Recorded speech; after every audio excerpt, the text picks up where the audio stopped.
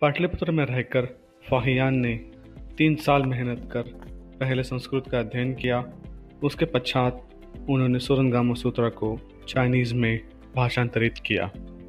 Fahien Buddhist monitors के बारे में लिखते हैं कि यहाँ दूर देशों के व्यापारियों के लिए रहने की जगह और अच्छा हेल्थ केयर दिया जाता था।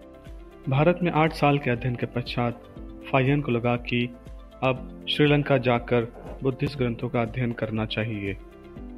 तब उन्होंने अपने सारे ग्रंथों को एक व्यापारी जहाज़ पर लादा, जो ताम्रलिप्ति से श्रीलंका जा रहा था। लेकिन उनके साथ ही ताओ चेंग ने भारत में ही रहने का फैसला कर लिया। फाहियान ने श्रीलंका में चार साल गुजारे और वहाँ बुद्धिस्ट ग्रंथों का अध्ययन व भाषांतर किया। आखिरकार फाहियान ने 77 साल की उम्र में श्रीलंका से चाइना जाने का मन बना लिया। एक व्यापारी जहाज़ जो श्रीलंका से जावा जा रहा था, उस पर फाहियान ने अपने सारे ग्रंथ लाद दिए। जावा जाने से पहले, उनके जहाज़ को एक बहुत बड़े समुद्री तूफ़ान का सामना करना पड़ा। जहाज़ में जब पानी भरने लगा तो जहाज़ में जो भी भारी भरकम सामान था, उसे समंदर में फेंका जा रहा था। उस वक्त फाहियान ने बुद्धिस्ट ग्रंथों को छोड़कर अपना सारा व्यक्तिगत सामान समंदर में फेंक दिया।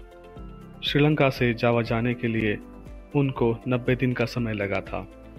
छह महीने पश्चात वह जावा से चाइना के लिए निकल पड़े। सत्तर दिनों के बाद वह पूर्वी चाइना में स्थित क्विंगजोंग नामक बंदरगाह पर उतरे। वहाँ पर उनका धूमधाम से स्वागत किया गया। वहाँ के जो राजा थे, उन्होंने फाहियान को बुलाकर सम्मानित किया। Let us have a look what is the Fahiyan's contribution to the Asian Buddhism and the culture. After arriving back in China in 412 AD, Fahiyan wanted to go southward, but a local chief persuaded him to stay for a winter. Fahiyan said, My mission is to search for Buddhist scriptures and to spread Buddhism. This is the reason why I devote myself to the dangerous pilgrimage.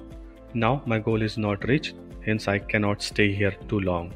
Then Fahian went to the capital, Jiankang, and invited Indian Buddhist master named Buddhabhadra to translate several Sanskrit Buddhist scriptures into Chinese together.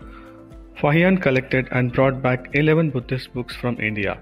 Among them, six Buddhist scriptures were co-translated into Chinese by himself and Indian Buddhabhadra, including Mahaparinirvana Sutra, Mahasanghika Vinaya, Samyukta Abhidharma Hridaya Sastra, Vaitulya Nirvana Sutra, Mahasanga Sila, and Zazang Sutra.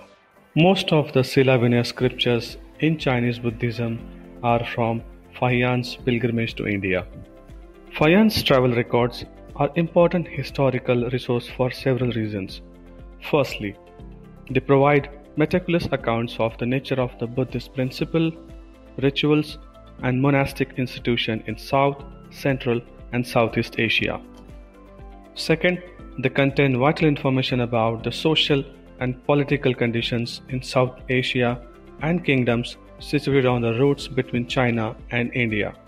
Third, they offer remarkable insights into cross cultural perception and interactions. 4.